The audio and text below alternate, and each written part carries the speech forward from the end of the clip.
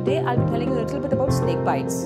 Now, in our country, we have over 300 species of snakes, of which only 13 are venomous.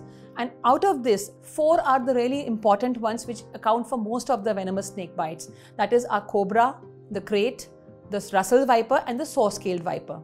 How does this venom affect our bodies?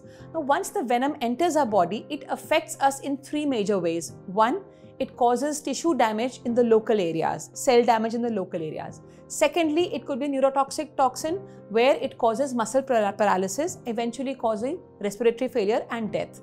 Thirdly, they can affect the clotting of our blood and these patients would bleed to death literally. In Russell viper and uh, saw-scaled viper, these vipers, they cause uh, affect, they affect the bleeding, uh, the coagulation profile. So these patients would present with continuous bleeding at the site of fang bites or they could have gum bleed, they could have conjunctival hemorrhages, or you could find bruises anywhere else in the body, bleeding in the urine. So all these are indicative of uh, affected coagulation profile. So now we come to what actually has to be done once we see a patient with snake bite. The moment you find a patient has had this, first thing reassure them. They should not get worried.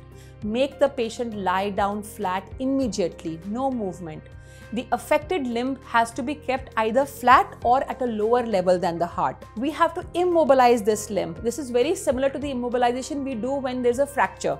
So use a hard object like a rod or a stick or a plank of wood and you tie this to the limb with some piece of cloth so that the limb doesn't move at all. So I'll also tell you what not to do in a snake bite.